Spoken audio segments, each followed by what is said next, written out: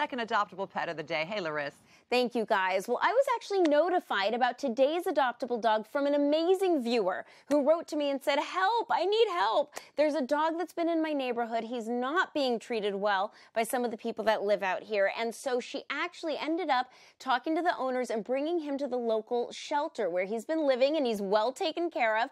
But he's been there for seven months now. And so she's hoping that we can help spread the word and find little dude a home of his own. So let's meet Dude now, who's with Diane, and they're both up in Oregon, not too far from us.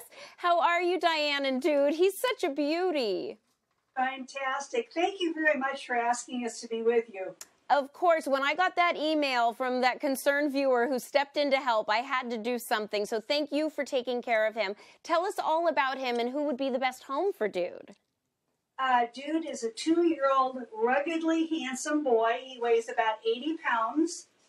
Um, he had a spinal injury prior to coming to us at Wild Rivers Animal Rescue, um, and he had very poor use of his back legs.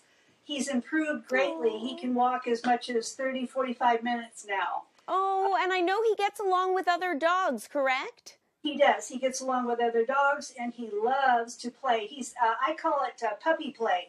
He acts like a puppy.